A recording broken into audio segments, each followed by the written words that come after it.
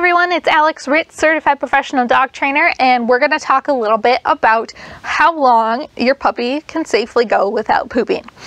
When you first bring your new puppy home, you know, it's very common that we want to keep track of our puppy's schedule, their sleep schedule, their, you know, when they have to go outside to pee, to poop, their eating schedule, and all that kind of stuff because it helps us kind of adjust our puppy to our lives, right? And know when they need the different things that they need.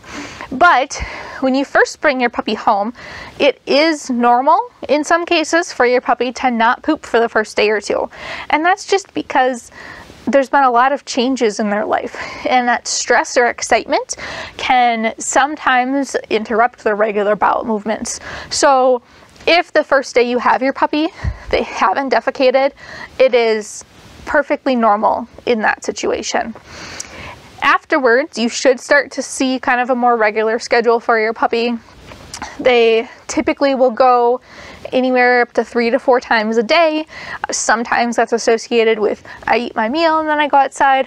Not always though. Some dogs don't have that, you know, eat my meal and then I go poop kind of uh, schedule.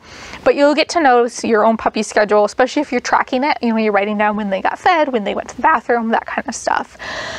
If your puppy hasn't pooped they're kind of into the routine. You know, you've had them a couple days, you know their typical schedule, and it's been more than a day or two. That's probably a reason you want to take your puppy to the vet or at least give them a call and see what they would recommend.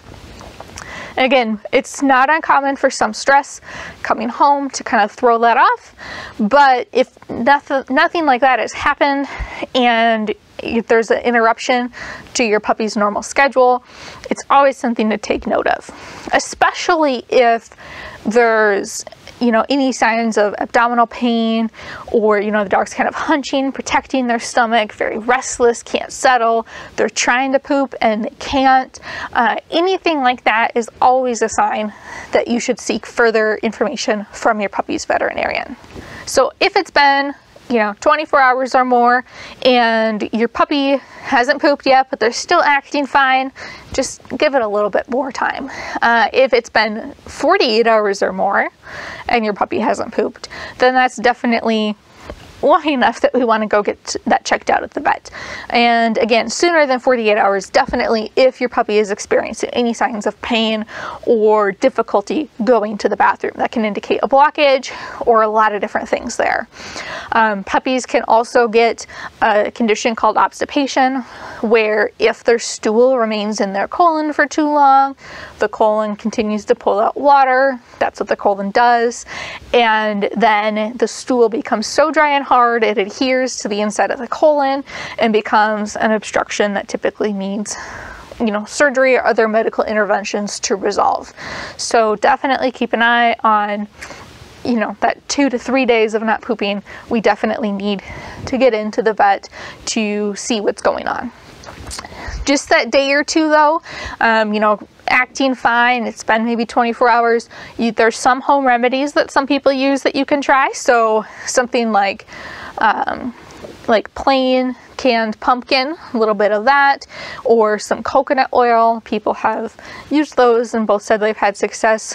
Um, and you can always check with your puppy's veterinarian to see if they recommend any over-the-counter stuff or anything that you can pick up from them too, just to encourage things to move along a little bit.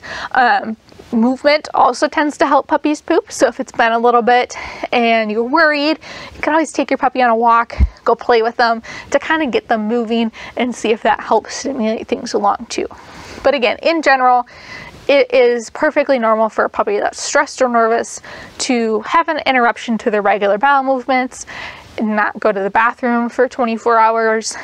Anything typically 48 hours and up is cause for concern, as is any signs of abdominal pain or difficulty going to the bathroom, inability to go to the bathroom, anything like that. And Otherwise, a typical normal puppy often will poop up to three to four times a day. And if you're journaling, tracking, you know, when you feed your puppy and when they go to the bathroom, accidents, that kind of stuff, you'll be able to have a really good baseline that's right for your puppy. For more tips and tricks, you can check us at houndgames.com and don't forget to hit subscribe.